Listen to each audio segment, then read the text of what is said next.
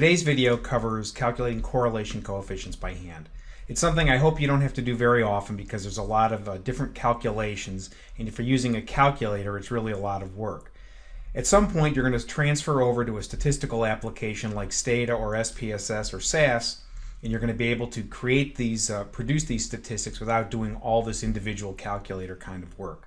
But having said that, I want to show you a couple of ways to calculate these by hand. The first is using the z-score method, which I detailed in my video on, uh, on correlation coefficients, my lecture video. And the second is using a spreadsheet, which is definitely an easier way to go when you have a lot of individual calculations to make. Let's go ahead and start looking at our problem. I've taken a subset of five cases measuring education, number of years of education, and income in uh, dollars. Um, you can see the data over on the left. So our first individual had 14 years of education, the second year, uh, second person 20 years of education, and so forth. And those first two people were paired up with income values of 54,999.5 and 82,499.5 and so forth with the remainder of the five cases. One of the first things I like to do when I calculate a correlation coefficient is to produce a scatter plot. And since we have so few points, a scatter plot is pretty instructive here. You can see the scatter plot I've made. I've, I've done this in Stata, and I have another video on doing these by hand if you wanted to create one on your own uh, with paper and pencil or with a graph paper. But you get the basic idea that we have XY coordinates. Here our education, number of years of education is our Y coordinate, and um, income in thousands of dollars is our X coordinate. And I find the address of my XY coordinate and put a point there. The relationship basically looks to be positive and if I were to, um, you know, hazard a guess, it looks reasonably strong and, uh, and positive.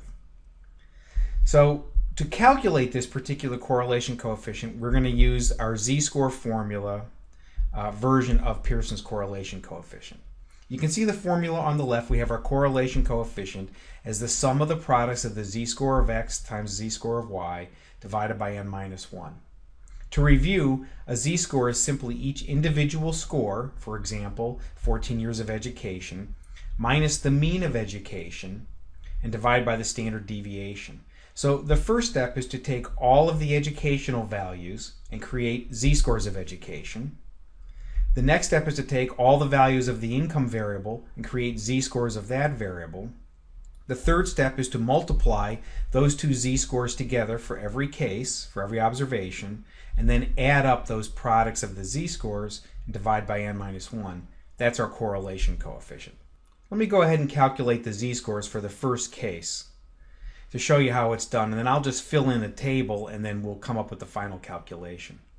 Well, the first thing we need are the, the different means.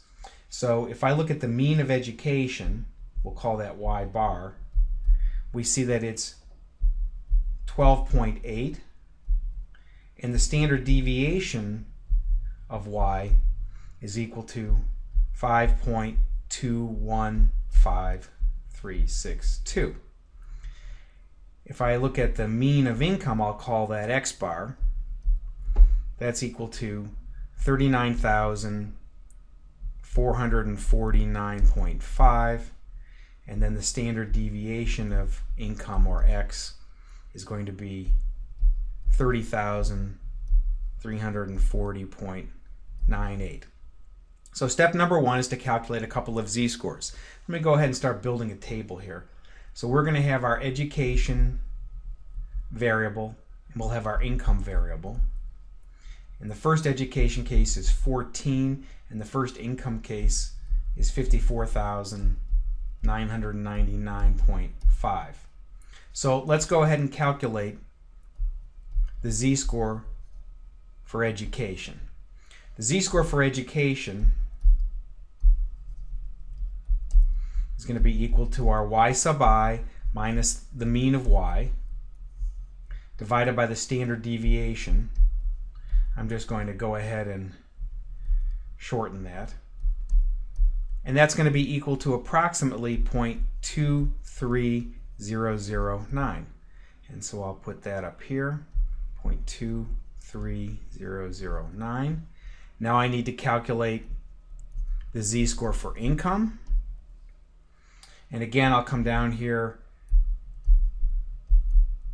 and my income score will be the 54,999.5 minus 39,449.5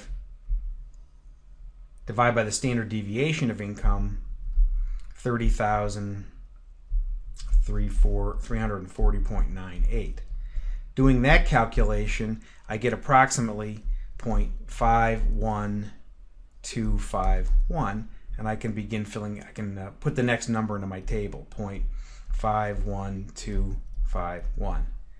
Now finally I'm going to have to figure out the product of these two z-scores. So I'll put, I'll label it as z EDUC times z inc. And let's go ahead and calculate that. So that's z EDUC times z inc,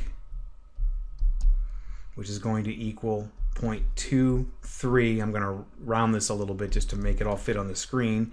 0.51, and that will equal 0.11792 approximately. And I'll just write that up here. 0.11792.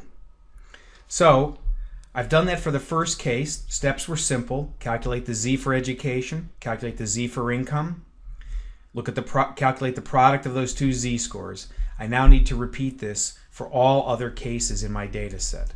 So I'm going to go ahead and do that and fill that in quickly to show you the next step.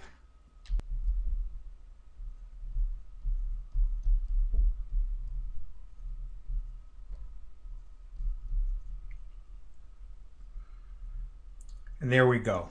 You can see that that was a fair amount of work. I've obviously calculated all these numbers beforehand and just wrote them down, but it took a fair amount of time to get here. The next step in calculating the correlation coefficient is to come over here to this product column and add these values up, and I get a value of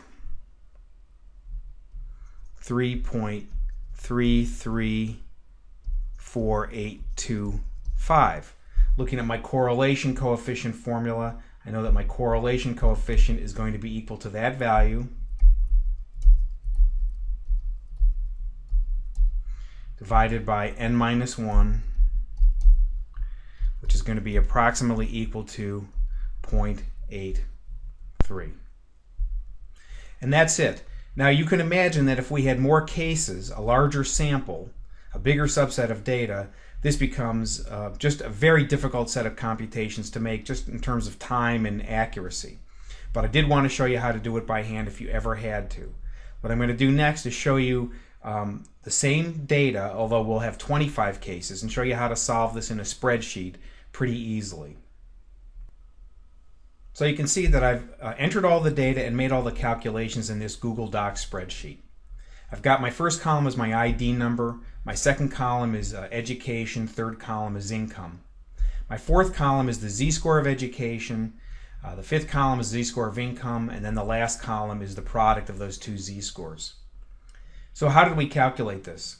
First thing I did is for education, I came down here and I used formulas to calculate the average, which you can see here, and the standard deviation for education. I did the same thing for the income variable. There's my average. And there's my standard deviation. And that's using the functions built into the spreadsheet. So that was kind of a quick way to do that. The next thing I did is calculated my z-scores.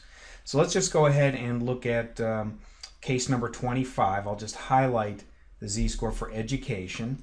And I'll hit the F2 key. And you'll see that it's going to show us, it's going to color code where these values come from. And you can see that it's the value of education, in this case, which is 12, minus the mean, which is highlighted, and divided by the standard deviation. And no matter which one of these entries I pick, you can see it's it's the same outcome. It's the difference of the two mean of the mean and uh, my observation divided by the standard deviation. I've covered this in other videos, but you can see I'm using the dollar sign notation here to use absolute addresses uh, and um, without the dollar sign relative addresses so I could copy this formula uh, reasonably easily. I've done the same thing for income, so let's just pick case number 25 for income and the F2 key to highlight And again, you can see I've just shifted everything over one column, so I'm, I'm doing the uh, correct subtraction and the correct division.